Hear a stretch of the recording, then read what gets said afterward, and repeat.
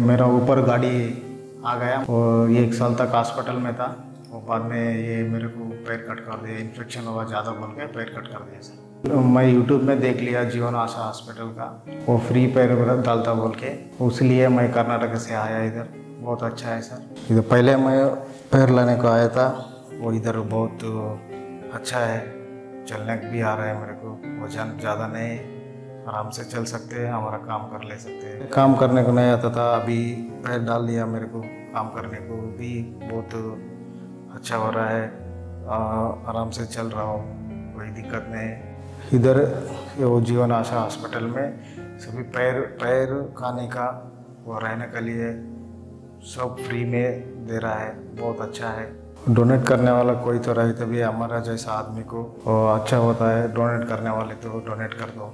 कौन कौन जीवन हॉस्पिटल को डोनेट करे ना, वो सबको धन्यवाद बोलता हूँ।